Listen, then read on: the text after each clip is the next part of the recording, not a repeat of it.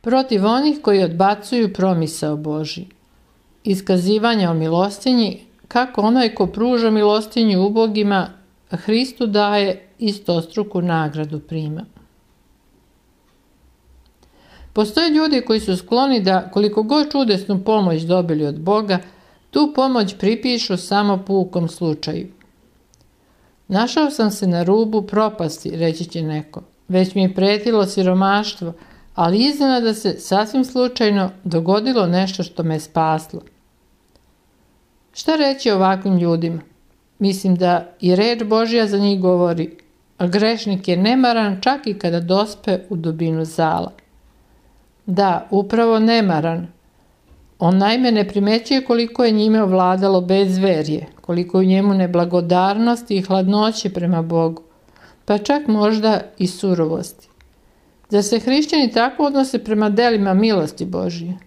Nikako.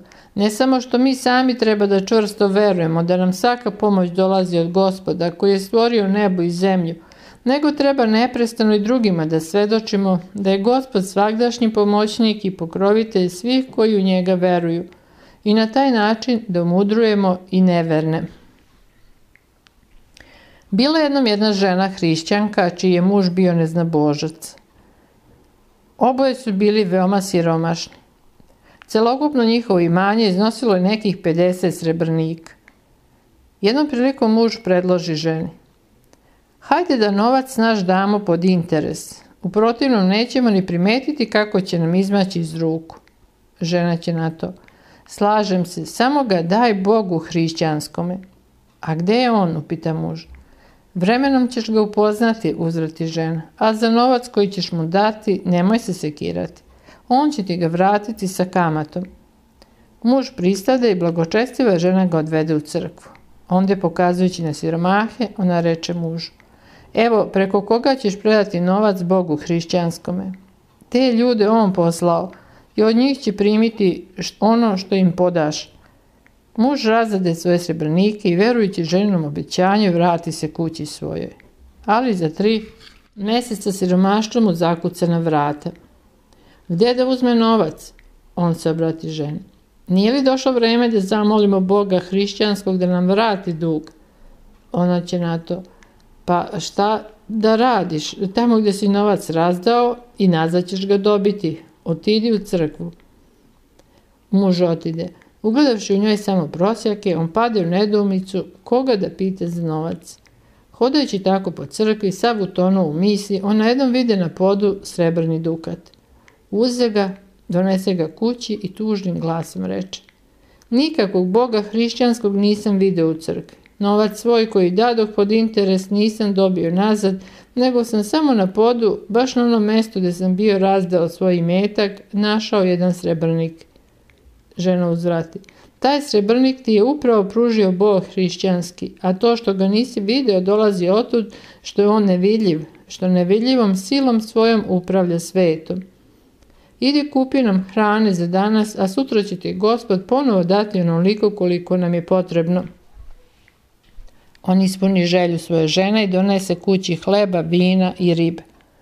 Čisteći ribu, ona neočekivano nađe u njoj nekakav neobičan kamen i pokaza ga mužu. On otide k juveliru i ponudi mu kamen na prodaju. Juvelir ponudi cenu od pet srebrnika. Ne znajući cenu kamenu i misleći da je on bezvredan, ovaj čovjek pomisli da mu se juvelir podsmeva, predlažući mu po njegovom mišljenju tako veliku cenu, upita s nevericom. Da ćeš mi zaista dati toliko? A juvelir, znajući da je u pitanju dragi kamen, također pomisli da ga ovaj čovjek kuša, pa predloži deset srebrnika. Ovaj čovjek u čudu ni reči ne prozbori, a juvelir određivaše sve višu i višu cenu dok ne dođe do 50 srebrnika. Kada se juvelir zaustavio na toj sumi, prodavac pomisli. Izgleda da je moj kamen zaista vredan, kada je juvelir spreman da mi toliko da za otkup, pa poče tražiti još veću cenu. Posle dugotrajnog cenkanja, najzad obojica pristadoše na 300 srebrnika. Kada obavi posao, muž se sa radošću vrati ženi i pokazaju tako veliku sumu, a ona mu reče Vidiš li koliko je dobar Bog hrišćanski? Znaj da nema drugoga Boga ni na nebu ni na zemlji. On je jedini dostojan poklonjenja. Posle ovog čudesnog događaja muč primi veru hrišćansku.